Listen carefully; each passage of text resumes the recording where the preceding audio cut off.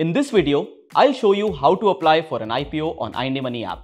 It's completely digital, super simple and safe. It just takes 5 easy steps to complete your IPO application. So let's get started. Step 1. Click on INDstocks. Tap on the IPO tab on the top. You will get the list of all the live IPOs. You can also use the search bar to find the IPO stock you want to apply for. Step 2. You can click on Apply Now to begin your IPO application. You can also click on the stock to view the entire details about the stock. Step 3. Input your lot size. This helps decide how many shares or amount you want to apply for. Click on Apply Now. Step 4. You now have to set up your payment mandate using UPI. A mandate is a one-time approval you give to reserve money from your bank account for an IPO application.